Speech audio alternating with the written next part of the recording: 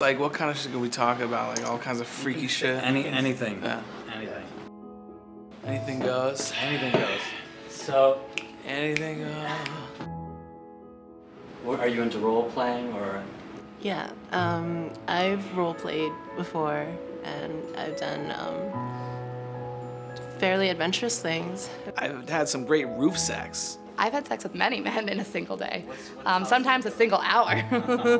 I'd say I've had sex with over 100 women.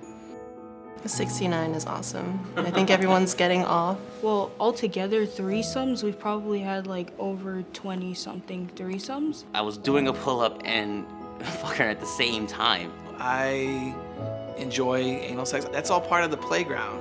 I guess we're called swingers. so I might have double penetration for the first time tonight. The last time I had group sex, it kind of spontaneously happened. At my most recent hotel party, it was six girls and two guys. I was one of the guys. And for at least two or three hours, it was just fucking and fucking and fucking.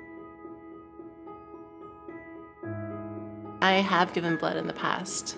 I've donated blood before. I have donated blood, yes. I have donated blood in fast. Yeah. So, I have cancer survivors in my family for generations. And I just think that that's something that's easy to do.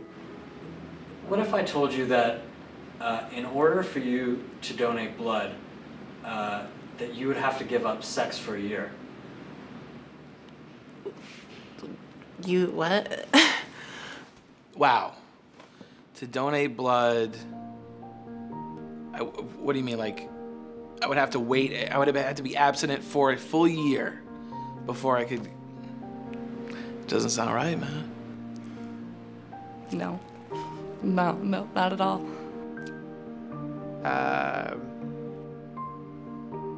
Ah, damn.